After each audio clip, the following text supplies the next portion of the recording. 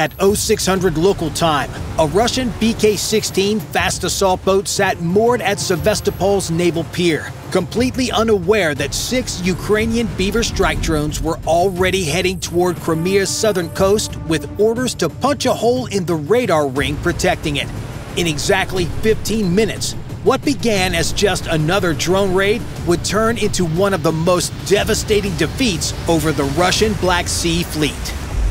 Unknown to the Ukrainian operators, though, eight miles away, a Russian Krasukha 4 electronic warfare vehicle had just activated.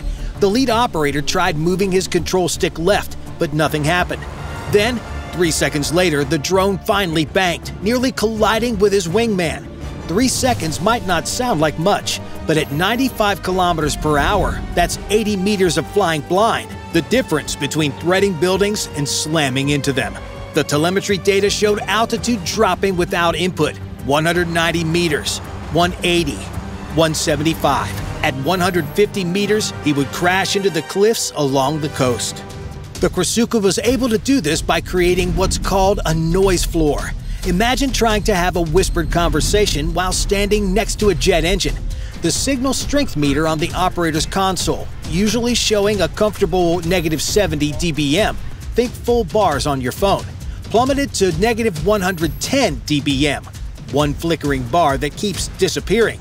At negative 120 dBm, the link severs completely, and the drone becomes a very expensive lawn dart. 10 more points of signal loss, and this mission would end before it began. But Ukraine had learned this dance over three years of almost daily attacks. The drone started frequency hopping, jumping between 40 different channels every second in a pattern only the Ukrainian operators knew. The Russian EW operator watched his screen light up with detections as his equipment tried to follow each hop, analyze it, and redirect jamming power. Problem was, that process took 50 milliseconds, and the drones hopped every 25 milliseconds. He was always swinging at where they were two hops ago, like trying to swat a fly that teleports every time you raise your hand. The lead operator executed a burn through maneuver, focusing all transmission power on a single frequency for two seconds, basically switching from a flashlight to a searchlight. The video flickered back, grainy and jumping like a 1980s TV with bad reception, but showing just enough. There was the radar complex, exactly where intelligence said. Four installations spread across two kilometers. But instead of empty coastline, they saw something that shouldn't be there. Through the static, he caught a glimpse of a rotating radar dish. A Tor M2 had just gone active, and its antenna was already turning toward them.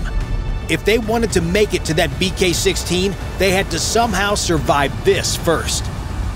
The Tor M2 operator had been watching his screen all morning, hunting for the characteristic signatures of incoming drones. Small radar contacts moving 80 to 120 kilometers per hour at medium altitude. Easy prey for his missiles. His scope showed nothing but ground returns and false contacts from trucks on the coastal highway. Ukrainian drones had learned to fly in the grass, below 30 meters altitude where radar physics completely breaks down. At that height, his sophisticated radar couldn't tell the difference between a drone and a delivery truck. That's because down at 30 meters, every radar pulse hit the ground and bounced back with such force it overwhelmed the receiver, like trying to see a firefly in front of a searchlight. The operator switched to the moving target indicator mode, basically telling the computer ignore anything moving slower than 40 kilometers per hour. That's probably not a drone. The Ukrainian formation immediately throttled back to 35 kilometers per hour. Now they were invisible again moving too slow to trigger the filter, but too fast to be ground vehicles. It's these kinds of games that drove Russian operators insane. Every countermeasure had a countermeasure. Then physics forced everyone's hand. Power lines stretched across the valley at 25 meters height. Hit them and go down easily, or climb over them and become visible.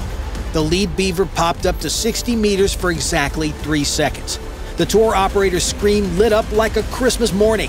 Six contacts bearing 247, range 2.4 kilometers, altitude 60 and climbing.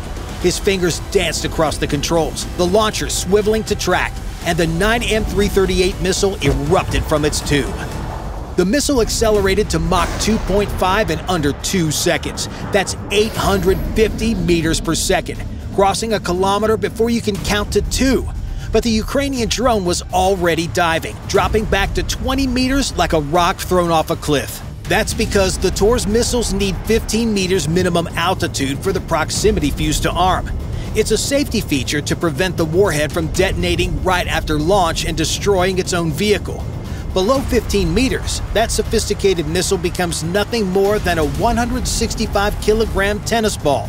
The 9M338 screamed overhead, its seeker head frantically searching for a target that had vanished into the ground clutter before self destructing eight seconds later in a puff of smoke and shrapnel over an empty field. However, this was no secret to the Russians. They had positioned two Tor batteries to cover this approach, but terrain had forced them three kilometers apart with a ridgeline between them. On paper, this looked fine. Each Tor could see 25 kilometers out and engage targets from 1.5 to 15 kilometers. Overlapping coverage, no gaps. But here's where physics had betrayed them. The missiles need that 1.5 kilometers to arm their warheads and start pulling 30 G turns. Any closer and they're still accelerating, basically still waking up. This created two circles of dead space, each 1.5 kilometers in radius around each vehicle. The Ukrainian operators had discovered something beautiful. If you flew exactly between the two Tors, staying about 1.4 kilometers from each one, you threaded a corridor where neither could engage. Too close for their missiles to arm, but the ridgeline meant they couldn't reposition quickly to get a better angle. It's like walking between two guard dogs on chains. Get the distance just right, and neither can reach you. But this meant flying perfectly straight for 10 seconds, no evasion, maintaining precise distance from both threats. One mistake, drift 200 meters either direction, and you're suddenly in someone's engagement envelope. At 95 kilometers per hour, those 10 seconds felt like hours. But threading that gap wasn't just survival. It lined them up on the only safe access towards Sevastopol's harbor and the pier where the B 16 was tied up. And this is exactly what they were aiming for. They punched right through the gap just as a missile launched, passing harmlessly behind them. But clearing the Tor screen meant entering something worse. Dead ahead, a Pantsir S-1 air defense vehicle sat waiting, its radar already locked onto all six drones, painting them with targeting radiation. At 2.5 kilometers, they were entering its optimal engagement envelope, and unlike the Tors, the Pantsir was specifically designed to destroy small drones. The Pantsir operator had been watching the drone formation dance through the Tor coverage for the past minute, his finger hovering over the launch button, studying how they moved, learning their evasion patterns. At exactly 2.2 kilometers, textbook engagement range, he launched two 57 E-6E missiles simultaneously. This wasn't random. Paired launches force targets to evade in predictable ways. If a drone breaks left to avoid the first missile, it flies right into the second. The missiles exploded from their tubes at Mach 3, crossing the first kilometer before the Ukrainian operators even processed the launch warning. One kilometer per second meant physics was not on Ukraine's side. The first missile locked onto the third drone in formation, following steering commands uploaded from the Pantsir's radar for the initial phase. For 1.5 seconds, the missile flew on remote control, then switched to its infrared seeker headed for terminal guidance. That's when everything went wrong for the Russians. The 57 E-6E was engineered in the 1990s to destroy fighter jets. Big aluminum tubes with engines burning at 600 degrees Celsius that stood out against the sky like flares. These Ukrainian drones had electric motors running at 40 degrees, only 5 degrees warmer than the morning air. The infrared seeker swept back and forth in increasingly desperate arcs, hunting for heat that barely existed like trying to find a candle flame in a room full of light bulbs. The third drone operator pulled 6 Gs in a banking turn, enough force that the composite airframe creaked audibly in the video feed. The missile passed 8 meters overhead, close enough that the camera caught the exhaust trail. The proximity fuse, designed to detect aircraft aluminum and trigger the warhead, completely missed the carbon fiber composite construction. No detonation, just an expensive rocket continuing into the sky until physics brought it down. The second missile found the fifth drone in formation. This time, the proximity fuse worked. The warhead detonated 12 meters away, transforming into an expanding sphere of 200 tungsten fragments. Most missed, but three fragments punched through the fuselage. The video feed started spinning wildly. Sky, ground, sky, ground, before cutting to static. First loss. The Pantsir operator immediately launched two more missiles. The third drone, still recovering from its 6G maneuver, couldn't evade twice. Direct impact turned it into a brief orange fireball and falling debris. Two drones down in five seconds. Four survivors pressing forward. The Pantsir's twin 30mm autocannon spun up with a mechanical whine, each barrel cycling at 2,500 rounds per minute. That's 83 explosive shells per second, per barrel, filling the sky with steel. The targeting computer ran its calculations. Drones at 1,800 meters, speed 95 kilometers per hour, crossing angle 30 degrees. With shells traveling 850 meters per second, they needed 2.1 seconds to reach the targets. In those 2.1 seconds, a drone could travel 55 meters, so the computer aimed 55 meters ahead. Perfect math that assumed targets would fly predictably. Instead, every 1.5 seconds, the operators threw in random inputs dive left, climb right, roll and bank. Never the same pattern twice. The Pantsir's targeting computer needed exactly 1.5 seconds of steady flight to generate a firing solution.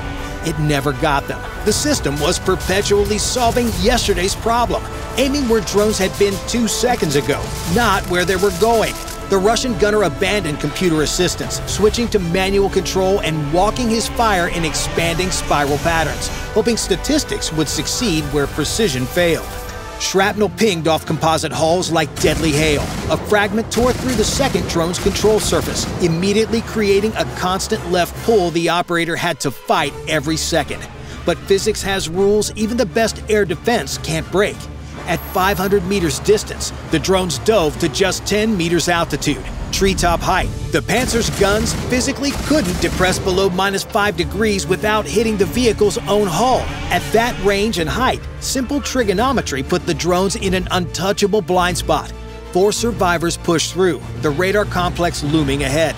The cannons fell silent, unable to track targets they couldn't physically aim at the most advanced air defense system in the Russian arsenal defeated by basic geometry. The route to the Russian BK 16 appeared to be open. But true to Russian form, they always had a manual backup. Three Russian soldiers with Igla shoulder fired missiles had been crouched between concrete barriers since the first warning, watching the Pantsir's engagement, knowing they were the last line of defense before the radar complex. The lead soldier powered on his launcher, the cooling unit humming as liquid nitrogen dropped the infrared seeker to minus 196 degrees Celsius, cold enough to turn air into liquid, necessary to detect the minute temperature differences between aircraft and sky. He found the lead Ukrainian drone on his sight at 800 meters, waiting for the solid lock tone that meant a guaranteed hit. Instead, his earpiece warbled like a dying smoke detector, Solid tone for one second, nothing for two, weak chirp for one. The drone's pathetic heat signature kept vanishing against the background. When it flew over water still radiating yesterday's warmth at 38 degrees, those 40 degree motors disappeared completely. But when it crossed over land at 33 degrees, suddenly there was marginal contrast. Water background, no lock. Land background, weak lock. The Seeker was hunting for something that thermally didn't exist. That's because the Igla was designed to destroy helicopters and jets with exhaust temperatures exceeding 300 degrees. Not glorified model airplanes with motors cooler than a laptop computer. Its seeker head expected to find heat plumes, jet wash, anything that screamed, I'm an aircraft, against the sky. These drones whispered their presence, thermally speaking. The soldier fired anyway, hoping the missile's proximity fuse would compensate for the weak lock, a prayer more than a tactic. The missile streaked out, its seeker head sweeping in increasingly desperate circles, chasing phantom heat signatures created by morning temperature inversion. That weird atmospheric condition where warm air sits on top of cold air, creating mirages made of temperature instead of light. The missile veered toward a warm air pocket, then another, then splashed harmlessly into the water 50 meters behind the oblivious drone. The other two soldiers lowered their launchers without firing. If one Igla couldn't maintain lock in these conditions, they'd all fail. They watched helplessly as the drones lined up on their targets. All defenses exhausted, nothing left but small arms fire that had almost zero chance of success. At 615 hours, the lead Beaver reached the P 18 Terek early warning radar, the system that could detect aircraft 360 kilometers away, giving Sevastopol 15 minutes warning of any incoming attack. Without this radar, the entire defensive network would be blind to threats until they were practically overhead. The drone dove straight at the rotating antenna array, accelerating to maximum speed for the final approach. When it struck, the warhead shape charge detonated, creating what weapons engineers call the Munroe effect. The copper cone inside collapsed into a hypersonic jet moving at 8,000 meters per second. 20 seconds later, the second drone lined up on the Nebo U surveillance radar, the crown jewel of Russian radar technology that could supposedly track stealth aircraft at 600 kilometers and coordinate every SAM battery in Crimea.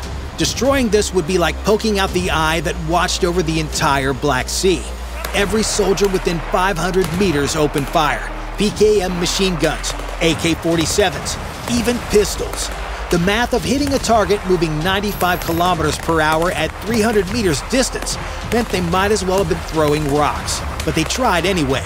The drone slammed into the Nebo U's phased array, the shape charge turning hundreds of precisely calibrated radar elements into expensive metallic confetti that rained down across the complex. The third drone, the one with damaged control surfaces that pulled constantly left, fought toward the N6L6E cheeseboard engagement radar. This was the S-400's brain, the system that turned those launcher vehicles from expensive tubes into Russia's best air defense system. Without this radar, 32 missiles worth $500 million would become useless, unable to track or engage any target. A ZU-23-2 anti-aircraft gun had been dragged into position, its twin barrels spraying 23mm shells in predetermined box patterns. The drone flew through the steel rain, impacting moments later. Secondary explosions rippled through the installation as capacitor banks discharged and power systems failed in cascade. With all the primary targets destroyed, the final drone banked toward the naval pier where a B 16 patrol boat sat moored. These boats were the hunters of Ukrainian Special Forces, carrying 19 naval infantry for rapid coastal response, armed with machine guns and grenade launchers. Each boat lost meant one less quick reaction force to defend against infiltration. Seconds later, despite incoming fire from watchstanders on board, the final drone struck amidships, detonating just below the waterline.